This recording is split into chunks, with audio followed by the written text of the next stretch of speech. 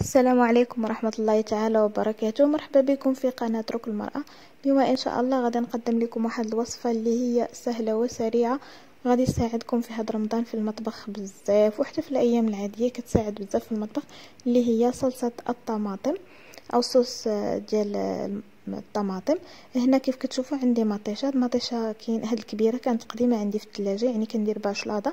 وملي كدوز عليها شي عشر أيام صافي راه كتعرفوا مطيشة كتبدا كدبل يعني ما كتليقش الشلاضة. فأنا كنصوب بها الصوص وعندي هنا مطيشة صغيرة. وممكن كذلك تستخدموا مطيشة من مجمد يعني ماشي شرط. هنا هاد الكبيرة كندوز باش كنقسمها على أربعة أو خمسة على حسب الحجم ديالها. وهذاك الصغيرة كنخليها كيف ما هي. بالنسبة للبنات ديروا هاد المطيشه اللي كتكونوا نتوما كتقداو فكتكون مطيشة باقه عندكم في الدار وكتحتاجوا يعني أنكم تشروا الصوص. فأحسن هذيك المطيشه القديمة كتحيدوها كديروها بلاصة جديدة وهاد القديمة كتحولوها للصوص وتقدروا تحتفظوا بها في آه، في الفريغو أو في الثلاجه لمده يعني في الثلاجه لتحت ماشي مدة طويلة. كيف كتشوفوا هنا من بعد ما قطعتها درت لها شوية ديال الماء آه، أقل من ربع كاس غير باش تطلع فيها الغليه أول مرة. أما نتوما إلا كنتو غادي تفوروها في, في الكسكاس فما ديروا ليها لا ما لا والو. كاينين جوج طرق إما ديروها بهذه الطريقة ديروا لها ربع كاس ديال الماء لأنها كتطلق الماء أو أنكم كتفوروها في الكسكاس. أنا بالنسبة لي لأنني ما نفورهاش درت فيها ربع كاس غير باش أنها شوية على الأقل آه تطلق ليا الماء. كيف كتشوفوا هنا هي من بعد ما طابت. ما كنخليهاش بزاف. على النار مجرد خمس دقائق وكتبان لي غلات وكنحيدها لأنني أنا غنعاود نزيد نغليها مرة أخرى. صافي غندوز هنا باش نطحنها. آه إلا عندكم طماطم في المجمد غادي تجبدوها وديروها في الكاسرونة ما غادي تضيفوا ليها لا ما لا والو. ولكن غتنقصوا عليها العافية مهيلة وحده هاد الطماطم اللي كندير فيها ربع كاس ديال الماء كنقص عليها العافية مهيلة باش تطلع فيها الغالية. أما الطماطم اللي غادي ديروها في, في الكسكاس فهي عادي جدا كت كت يطلع عليها البخار. ماشي بالشرط أنها كطيب لا خاصها غير شوية باش كتبان لكم دبالت ليها القشرة ديالها. كيف كتشوفوا أنا غندوز نطحنها في مولينيكس هنا في عفوا في الخلاط. ما كتحيدوا ليها لا قشور لا لا البذور ديالها لا الزبل ديالها لا حتى حاجة. يعني كتخليوها كيف ما هي كتقسموها فقط. ولا كانت صغيرة كديروها direct وحتى الا كانت في المجمد كديروها direct من بعد ما طحنتها مزيان يعني كنطحنها مزيان كندوز باش كنصفيها. لأن كيف كتعرفوا مطيشه هذاك الحبيبات ديالها الزريعة ديالها ما كطحنش ما كتبغيش تطحن. وكتخسر آه الصوص. أنا ما كنحيدهمش ليها الزريعة في الأول. حتى كيطيبوا تيطلقوا البنة ديالهم. هذا باش كندوز؟ وكنطحنهم وكنصفيهم بهذا الشكل. كنبقى كنصفيهم بالصفاي وكنحاول كنورك على هذيك مطيشة باش ينزل الصوص لتحت. واش بقى ليا؟ هذاك البذور الفوق والقشور. القشور نصها كيطحن وغير شي حاجة بسيطة اللي كتبقى. كيف كتشوفوا هنا؟ هاي بدات كتصفى. طبعا كنساعد بهذه الطريقة تاع أنني كندعكها. كيف كتشوفوا كنبقى كندعك حتى كيبقى فقط هذاك كيف كنقولوا داك التخت ديالها اللي هو البذور والقشور البسيطة. أما الباقي القشور فهو راه كيطحن مزيان. كيف كتشوفوا صافي باش ما كيضيع ليا منها حتى حاجة. صافي كنبقى حتى كتنشف. لا لاحظتوا أنا ما درتش مطيشة بزاف وخرجت ليا تقريبا هنا خرجت ليا نصف لتر آه، ديال آه، لاصوص يعني اللي نقدر نخدم به بزاف ديال الحوايج. أنا بالنسبة لي البنات كنديرو في التدوار ديال الحريرة حامضة. من قبل ما كندير الطحين كندور به الحريرة باش كندير ليها الطحين. كنديرو في البيتزا كنديرو في المعجنات سواء سباكيتي أو لا أي نوع من المعجنات. كنخدم فيه لاصوص ديال الكفتة وحتى مع البيض كنديرو مع البيض أومليت. صراحة رائع جدا.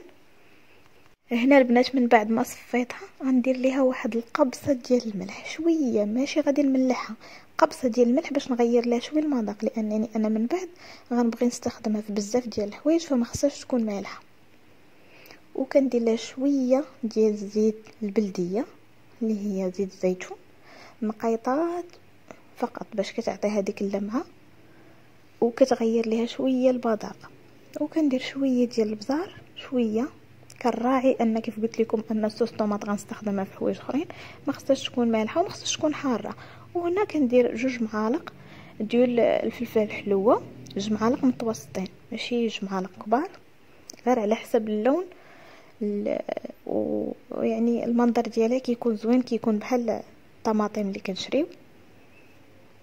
صافي وكنخلطهم مزيان وكنشعل عليهم البوطة. يعني البنات مجرد دقيقة يعني 60 ثانية اولا دقيقة ونص مجرد أن هذاك الزيت والتوابل كيطلقوا واحد شوية يعني بحال كطلع الغليه بحال هذا الشكل لأني أصلا كتكون باقا سخونة فكنغليها واحد شوي فقط صافي وكننزلها وكنخليها كتبرد هي مني كتبرد كتجمع وكتولي صوص ثقيلة. كيف قلت لكم البنات كتساعدكم بزاف في هذا رمضان. أنا ما كنستغنيش عليها دائما كنصاوبها وكنحطها عندي في الثلاجه فيما كتقدم عندي مطيشة كنجمعها وكنصاوب بها الصوص كنديرو في قرعه وكنديرو في الثلاجه لتحت كنخدم به في 3 أيام ولا درتو في الفريغو كنديرو في دوك الطويصات اللي كيكونوا صغيورين كنديرو في الفريغو كنحطهم وكنبقى كنهزو على شكل مكعبات وكنضيفهم للأكل. صافي هنا خليتها تبردت من بعد ما بردت هانتوما غادي تشوفوها البنات كيف دايرة. يعني القوام ديالها كيولي ثقيل وبالأخص ملي كتدخلوها الثلاجة راه كتولي ثقيله يعني كتولي بحال معجون الطماطم هنا كتشوفوا الصوص ديالها خاطر وكتسهل عليكم جدا. يعني إلا بغيتو ديروا الكفتة راه كتضيفوها في آخر مرحلة. ما كديروش الطماطم كتشحروا البصلة وكطيب الكفتة ومن بعد كتحويوها من الفوق مجرد كيطلع فيها الغلية فقط. كيف كتشوفوا هنا عمرت لي هاد القرعة. القرعة كتهز عندي 400 ملي ومازال شاط ليا 100 ملي تقريبا اللي هو المجموع نصف لتر. يعني أنا نصف لتر نخدم بها بزاف ديال الحوايج إن شاء الله. كيف قلت لكم هاد الطريقة كتجي زوينه ماشي بحال الطرق العشوائية اللي هي كطحن مطيشة وكدار في الفريغو وكتجي باسلة. هادي كطيب وكتحول صوص. هاد لي صوص راه معروفين كيتباعوا يعني في في المحلات التجارية الكبرى اللي كيكونوا يعني ثمنهم شوية مقارنة مع مع أنك تصاوبهم في الدار. فأحسن حاجة أنكم تصاوبوهم في الدار.